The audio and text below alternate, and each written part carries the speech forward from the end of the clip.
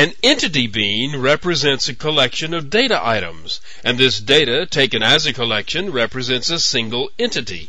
For example, one entity bean could hold the name, address, and telephone number of a person.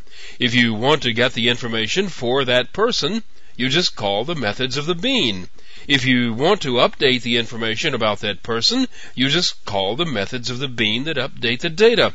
If you want to get the information on another person, you'll have to get another bean. Each bean represents the data for one entity. Each entity bean has a unique key that identifies it. An entity bean often works in combination with one or more stateful session beans and usually works with data from a relational database. But I'm getting ahead of myself.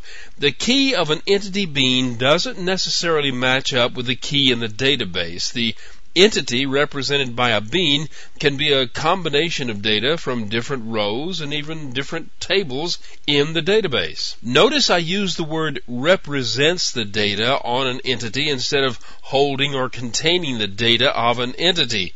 There is a subtle difference, but it turns out that it's a very important difference.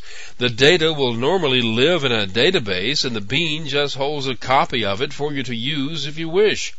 This means there are two copies of the data and care must be taken that they don't get out of sync. The bean is said to be persistent. That means it always contains the data. If the bean exists, it holds the data, period. Looking at it from a client program's point of view, the beans hold the data. The client can read and write the bean just like it's reading and writing the database. But with one copy of the data in the bean and another copy in the database, the two can get out of phase. The truth is, the beans aren't the only things that update the database.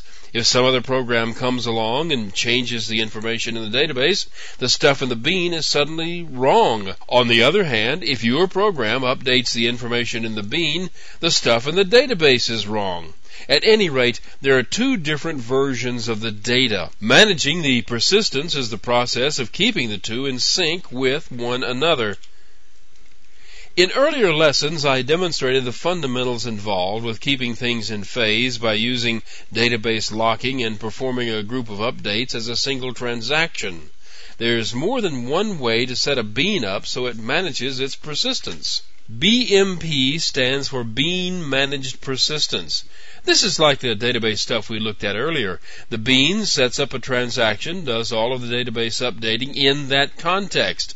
It's also the responsibility of the bean to read the data from the database so it keeps itself up to date. CMP stands for Container Managed Persistence.